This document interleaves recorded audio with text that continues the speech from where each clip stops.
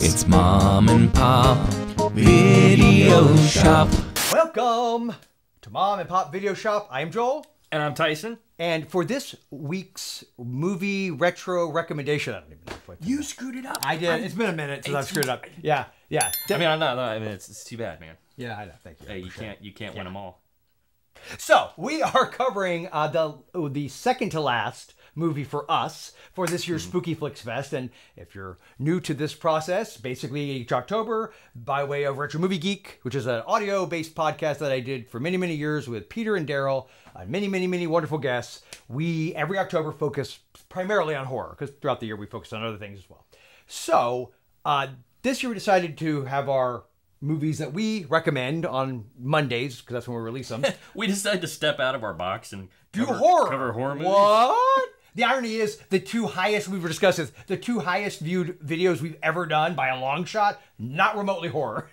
so Which means that you, fine patrons, need Yeah. to uh, talk to your horror buddies yeah, okay, so come on, and man. say, "Hey, come check out yeah, Mom Pop but Video or, Show." or maybe it just tells us we need to do movies outside of the horror genre on occasion. But that aside, um, the funny part is this year's theme was more like 80s horror, but specifically more obscure. Like the one Tyson did last time was very obscure. The I Stephen King 100 volume- percent fits what we try to Yes. do here, which is maybe not, you know, pick the obvious Yes. selection off the shelf. Now, I'm going to tell you right now, my pick is not what I would call obscure. Like, to me, it's not.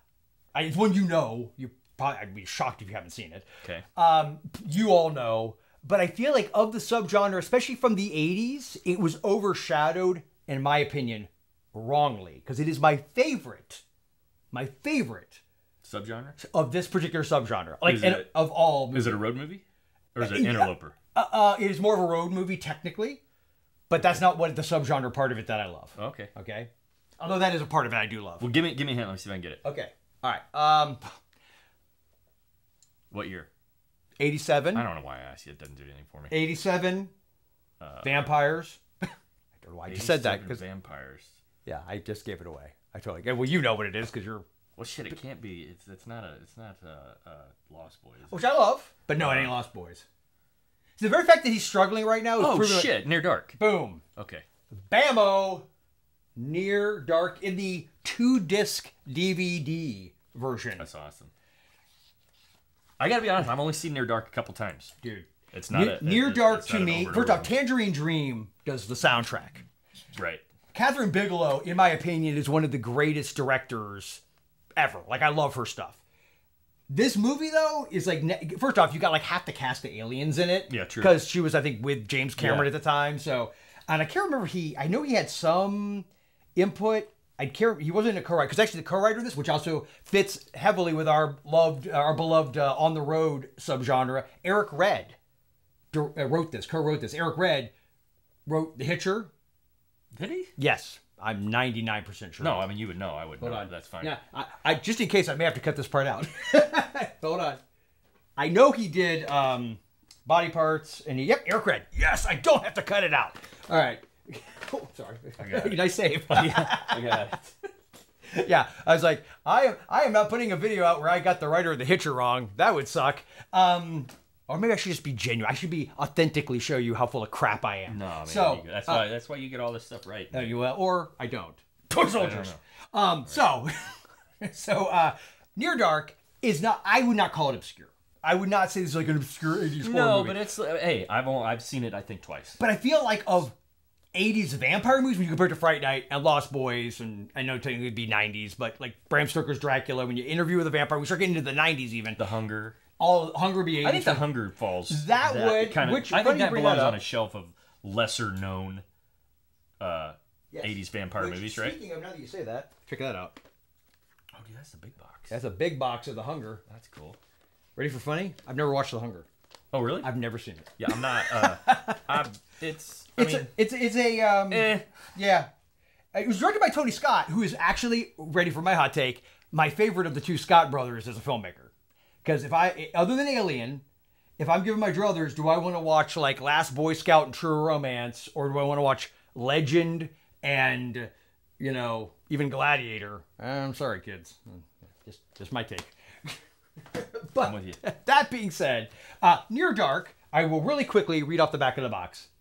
In the dusty heart of the American Southwest, innocent country boy Caleb Colton, played by Adrian Pasdar of Mysterious Ways, which I have no idea what that is, is seduced by a beautiful girl, Jenny Wright, into joining a roving pack of vicious drifters led by the enigmatic Jesse, Lance Henriksen. But this is no. Oh, sorry, I can start that again. But this is no ordinary band of outlaws. Caleb is now trapped in a nightmare of soulless evil that waits in the shadows, hellish mayhem that thrives on blood, and absolute horror that begins near dark. So you've got Lance Henriksen, obviously said Adrian Pasdar and Jenny Wright. You've Paxton. Bill Paxton, um, Jeanette Goldstein, Vasquez from from uh, Aliens. Uh, we said Kathryn Bigelow. The kid who is the son of Jason Miller and I think maybe half brother, or I don't know if he's full brother of Jason Patric, who was in Lost Boys. Uh, I watch him not be in the credits. Of course, he's not.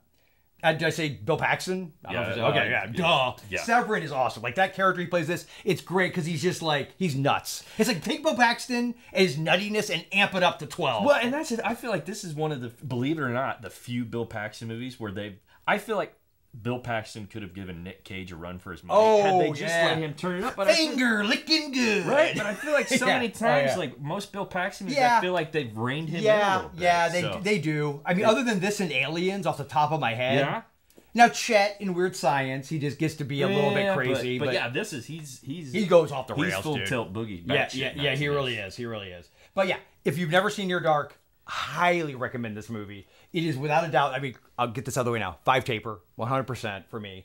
It is a movie that is worth owning, which is surprisingly hard to get. I was gonna. I realized I didn't own the Blu-ray. I don't know why. I freaking love this movie, and um, it wasn't available. I think it wasn't available. Well, and that's what I was going to say. Part of the reason that I haven't seen this more than I have is because it was notoriously tough to find. And it's like the. Blu-ray was like fifty bucks, and as much as I love this movie, bro, come on, man. Mm-hmm. So I used to own this. I had this exact version Yeah. for years, and I don't know what the heck happened to it. I was like desperately searching, like half a day trying to find it so it could. You know, I- actually, and I'm going to get to that in a second. I'm actually going to be covering this in more detail on someone else's show. Did soon. you see this uh, early on? I mean, well, a- shortly after it came out when you were young. I didn't see. No, I saw it probably because '87. I was 11, so no, Mm-hmm. I, I would have probably been like right around the eighth, ninth grade year because that's when I started to really get into horror a lot. So it'd Even been then, like, I hadn't 90. even heard of this until I was well Oh, into my really? adult- yeah, Oh, dude, yeah, So, like, the first time I saw this, pardon me, was Yeah. probably eight years ago. Okay. Oh wow. Are you serious right now? The plot, the concept of this too is is freaking awesome. Oh, we dude. talk And about Lance how it kinda Henriksen's so good. Yeah. Oh, my yeah. God, But the his idea, I mean, it, it doesn't spoil much, but I mean, it's basically if you're a vampire on the road and Yeah. you live in an RV, Yeah. imagine the the the challenges Yes, that that might. that's what I like too. Is that the, like them being homeless basically, Yeah. and they're just surviving, and they're yeah, yeah, yeah, just a, a, roving horde. yes. Even though it's technically not a horde, but you, Yeah. you know what I mean. They're they're uh, Oh, uh, yeah. definitely um, uh, like vampire hobos. Yeah. Right? Yeah. Yeah. 100. percent Yeah. Yeah. Homer. That's that's the. Homer, uh. I'm gonna I'm gonna look and see here real quick. He's creepy as shit. too. Yeah, he's great. Yeah, the line. "Ha- Do you have any idea what it's like to be a big man in, on the inside and have a small body on the outside? And here's the thing, everybody goes on and on about uh, what's her, uh, Kirsten Dunst's Mm-hmm. performance in Interview with the Vampire and how she was Yes. so good at being that like Yes. ancient vampire in a child's body. Yes. I think I think this dude uh, uh, nails it. oh, he every was, bit as well He as was Kirsten so Dunst. freaking great. I'm going to freaking. Eight hours later. I knew he played Homer. Dang it! All right. Well, regardless, we now return to our regular schedule, our regularly scheduled program, um, and it's something million. You, if you don't mind looking it up, well, I just I so he was in a movie called River, The River's Edge. Did you ever see that with Crispin Glover and Daniel Roebuck? I think so. and um, Keanu Reeves, uh, a pre Bill and Ted Keanu Reeves, freaking dark Oh, I'm sorry, I was getting it mixed up with a uh, uh, White Whitewater Summer. Oh, which is another great one with Sean Astin. Uh, no, the the um, River's Edge is like this Could dark. Marlon Pop have picked a worse freaking location for a signal here? Cheap ass phone. So, regardless, if you've never seen Near Dark, Joshua John Miller. Miller, I knew it was Miller because he's Jason Miller's son. Yeah, And- and, Jason Patric is jo- is also Jason Miller's son. Ipso facto, As a at least- grown man, he's definitely. It's obvious that he's. Oh yeah, Jason and he's also still alive. Yes. Yeah. Um, Sorry. Yes. So all of that being said, And yeah, he's in- fantastic. and hopefully in good health. and hopefully yes. Well, apparently according to IMDb, he's still kicking, which is great. So Near Dark, if you've seen it, let us know what you think because uh, hopefully, like me, you love it as well. Um, I think I already said it's a five taper. What about for you? Do you? Uh, I'm gonna say four, but only we've talked about this. We've talked about this before. I don't feel comfortable. It's something I've only seen twice. Yeah, you want I don't have to say, oh, it's fine. But uh, I think in time it yes. could easily. I just think the fact that it's got the aliens connections that it does. Yeah, and cool. Bigelow is such a great and you mentioned you action. mentioned Tangerine Dream, the soundtrack. Dude, it's one of is those so that good. just throw it on while you're Yes, working at home or doing laundry soundtrack. or whatever. Yeah, It's so it's great. freaking awesome It- if you're into that whole sort of synth, Yes, 80s. dreamy. Yes, Yeah, yeah, very cool. yes. Uh, yeah, dreamy because it's, you know Tangerine Right, Dream. right, right, right. All right, so let us know in the comments below and uh, stopping by the shop. And remember, uh, at Mom and Pops, our love of Blackula. I don't get the connection, but it never stops. That's a vampire. Movie. Okay, well- and I was gonna say The Hunger, and I'm like, nah, again, low hanging fruit. yeah, So. all right, Blackula's better. Blackula's fantastic. We're gonna do Blackula on this channel. yeah, I love that. It's a fantastic movie. Yeah. Never stops. Mom and Pop's Video Shop.